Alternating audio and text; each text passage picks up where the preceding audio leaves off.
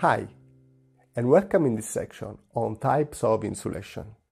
In the previous section, we saw the effect of current on human body, the insulation or isolation, international standards, and the General Safety Requirement Clause. In this section, we will talk about functional insulation, basic insulation, supplementary insulation, double insulation, and reinforced insulation.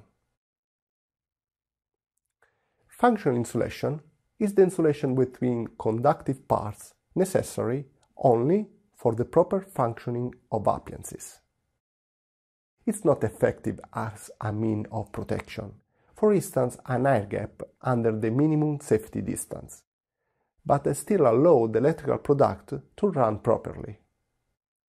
For example, this means that apparently our electric oven will cook our meal, but the insulation provided is not reliable to protect us.